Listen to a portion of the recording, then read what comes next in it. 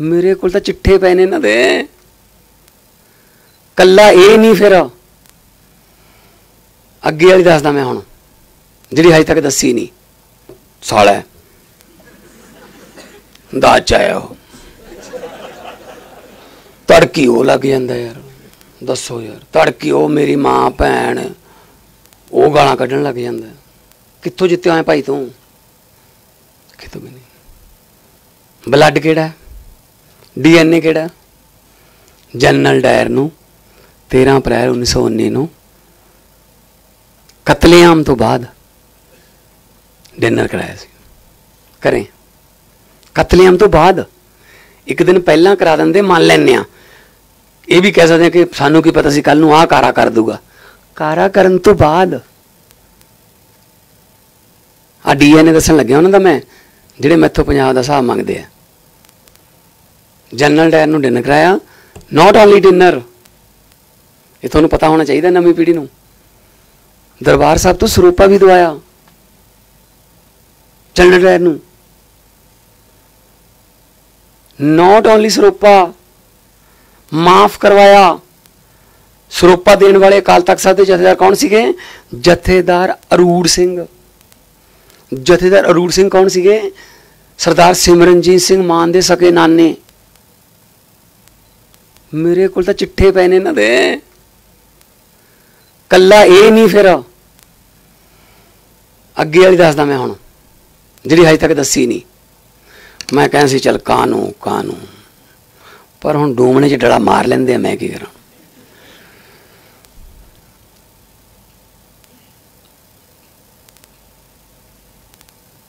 ਉੱਨੀ ਸੌ ਸਤਵੰਜਾ ਜਦੋਂ VOTING ਹੋਈ ਭਾਰਤ ਦੇ ਵਿੱਚ ਜਵਾਹਰ ਲਾਲ ਨਹਿਰੂ ਜੀ ਮੁੱਖ ਮੰਤਰੀ, ਆਪਣਾ ਪ੍ਰਧਾਨ ਮੰਤਰੀ ਬਣ।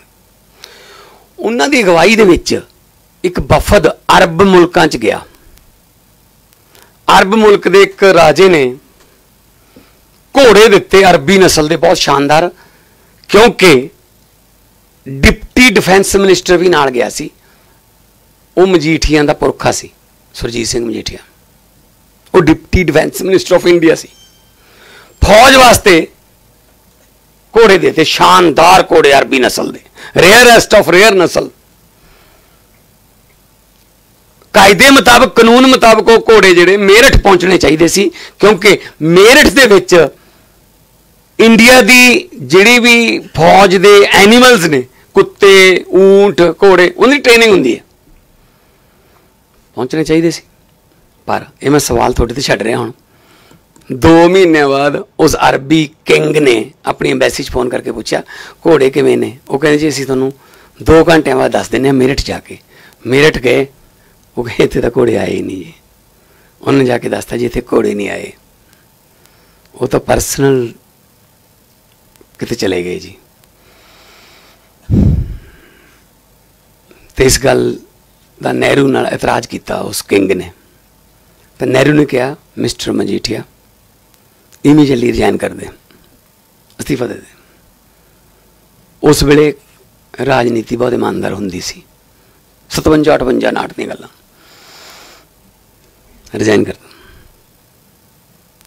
ਘੋੜੇ ਕਿੱਧਰ ਗਏ ਫਿਰ ਅੱਜ ਜੇ ਮੇਰਠ ਕੋਈ ਪੱਗ ਵਾਲਾ ਬੰਦਾ ਚਲਾ ਜਾਵੇ ਨਾ ਸਰਦਾਰ ਉਸ ਐਨੀਮਲ ਟ੍ਰੇਨਿੰਗ ਸੈਂਟਰ 'ਚ ਲੋਕ ਪਤਾ ਕੀ ਕਹਿੰਦੇ ਘੋੜਾ ਚੋਰ ਆ ਗਏ ਆਪਣੀ ਆ ਇੱਜ਼ਤ ਬਣਾਈ ਉਹਨਾਂ ਨੇ।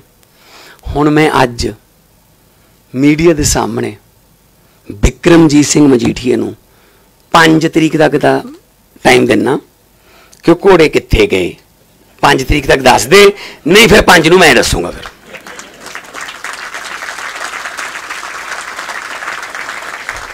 ਆ ਡੀਐਨਏ ਹੈ ਆ ਡੀਐਨਏ ਹੈ ਭਗਵੰਤ ਮਾਨ ਤੋਂ ਸਾਹਿਬ ਮੰਗਦੇ ਆ। ਕਿਸੇ ਪੱਖੋਂ ਤਾਂ ਛੱਡ ਦੋ ਯਾਰ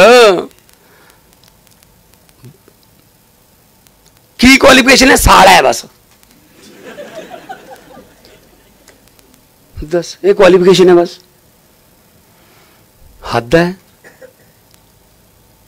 ਉਹ ਸਰ ਸਰ ਦੀ ਉਪਾਧੀ ਲਈ ਸੀ ਉਸ ਵੇਲੇ ਸਰ ਦੀ ਉਪਾਧੀ ਅੰਗਰੇਜ਼ ਸਿਰਫ ਆਪਣੇ ਪਿੱਠੂ ਨੂੰ ਦਿੰਦੇ ਸੀ ਕੱਲੀ ਕੱਲੀ ਗੱਲ ਪਈ ਹੈ ਸੱਚਾ ਇੱਥੋਂ ਬੋਲਦਾ। ਚੱਲ 5 ਤਰੀਕ ਤੱਕ ਜਵਾਬ ਦੇ ਦੇ।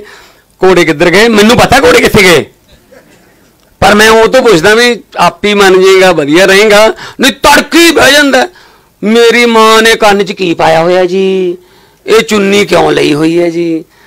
ਹੱਦ ਹੈ ਯਾਰ। ਬਸ ਇਹੀ ਨਹੀਂ ਚਰਿਆ ਜਾਂਦਾ ਯਾਰ ਕਿ ਸਤੌਜ ਪਿੰਡ ਦਾ ਇੱਕ ਆਮ ਘਰਾਂ ਦਾ ਮੁੰਡਾ ਕੁਰਸੀ ਤੇ ਕਿਉਂ ਬਹਿ ਗਿਆ ਬਸ?